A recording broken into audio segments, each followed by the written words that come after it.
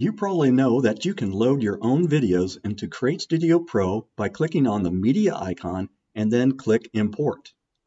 You may also know that you can import video clips from Pexels or Pixabay. But did you know that you can also import Lottie files?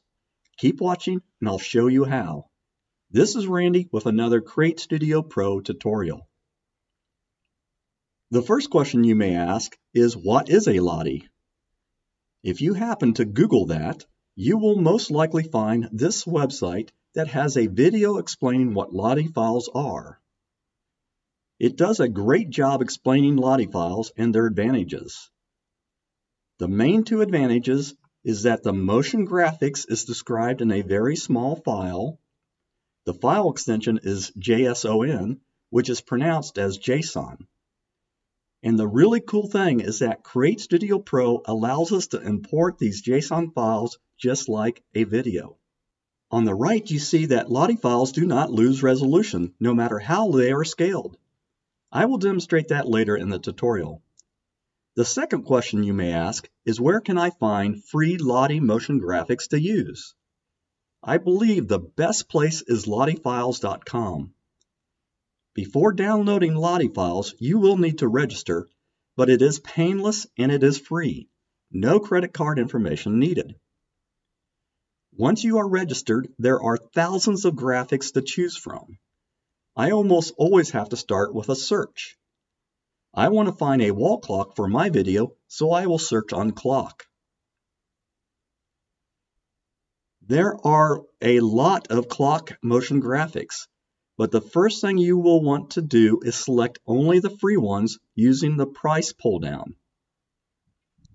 By the way, I find many free ones are superior to premium graphics. It depends on if the creator wants to be compensated or not, so it is not necessarily priced by quality.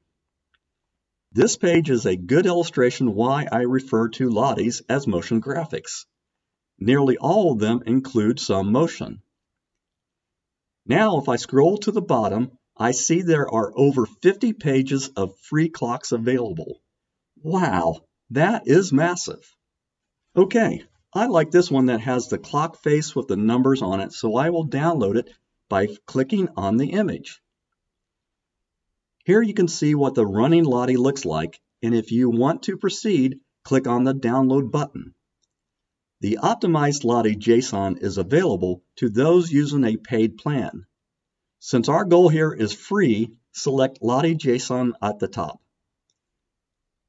This will be downloaded to your download folder. I will also download this running hero just because it is so darn cute.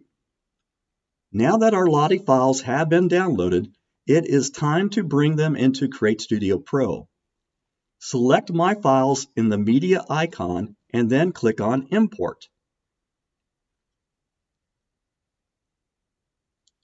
Let me warn you here, loading a Lottie file takes a very long time. What you see has been massively sped up.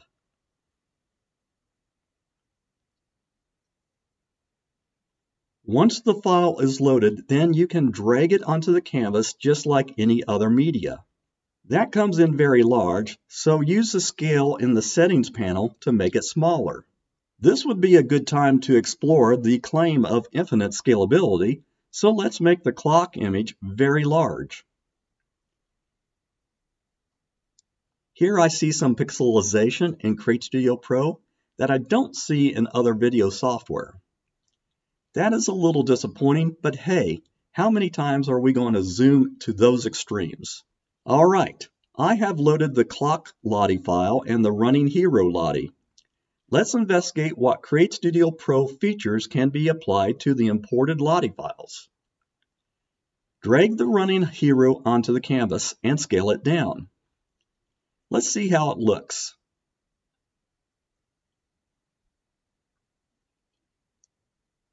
Nice! The running action is faster in the middle and slower at the beginning and the end. The first thing I was curious about is if I could create a loop of the motion graphics. So I duplicated the track. Okay, duplicate works. Now move the duplicate to the end of the original and play that.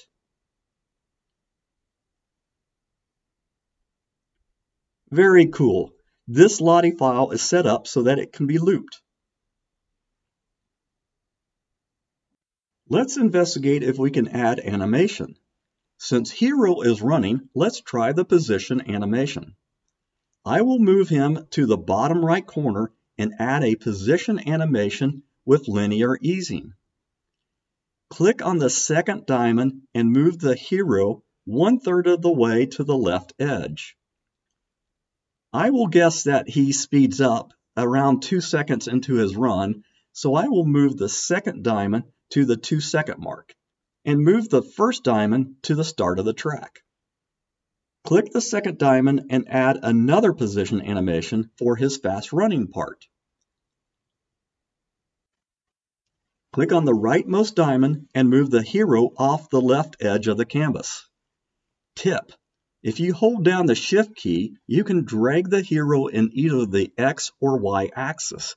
So I will hold the Shift key and with my mouse drag the hero to the left. Let's play that and see if any adjustments are needed. I see two things to adjust. One, the fast running part moved off the canvas way too fast, so I will extend the duration by clicking on the last diamond and move it to the right. The second item is that his legs started moving faster during the first animation, so I will want to shorten the first animation duration. When I click on the diamond in the middle, I see I can't drag it to the left. That is because the start of the second animation is on top the end of the first animation. Tip: To adjust the first animation, click in the middle of the second animation and move it to the right so that you can see both diamonds. Now move the end diamond of the first animation a few frames to the left, and then drag the second animation left so both diamonds are on top of each other again. Let's play that. Now that looks better. Will the Create Studio effects work on Lottie files? After adding the clock Lottie, let's see if I can use the clip speed effect to speed up the clock where the hero is running fast. I will move my playhead to the middle diamond and cut the clock Lottie track. Now, open the effects by clicking on the star on the far left. Select and drag clip speed onto the Lottie track after the cut. In the top right, you can click on the word clip speed to open the clip speed panel. As I make it four times faster, you can notice the Lottie track getting smaller. So yes, you can clip speed a Lottie file. It appears that all the effects can be applied to Lottie files. Here is Wavy.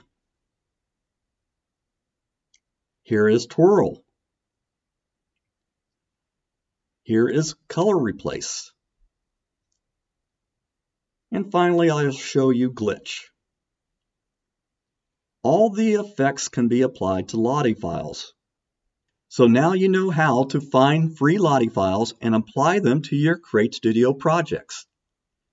Here is a project that I built using the Clock Lottie file to show a day at the office using a time-lapse effect.